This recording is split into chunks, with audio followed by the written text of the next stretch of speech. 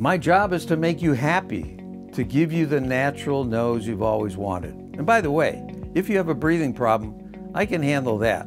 I have a lot of experience in that department too.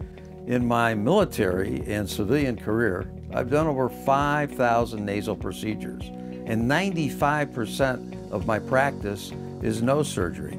So you'd be in good hands. We can handle it. And by the way, if you can find another doctor who has longer experience, who's more specialized, who has as many five-star reviews and as many patient testimonials and a larger collection of before and afters of all kinds of patients, all ethnicities on the website, plus matching the computer imaging. If you can find a doctor that has that, go to them. But after that, you'll still want to circle back and talk to me, and I'll answer any questions you have anytime. And by the way, one question that comes up is, do I have to have surgery? Is there any way to fix my nose without it?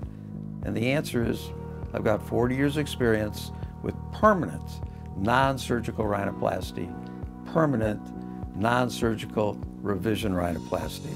There's a good chance we'll be able to help you in that department.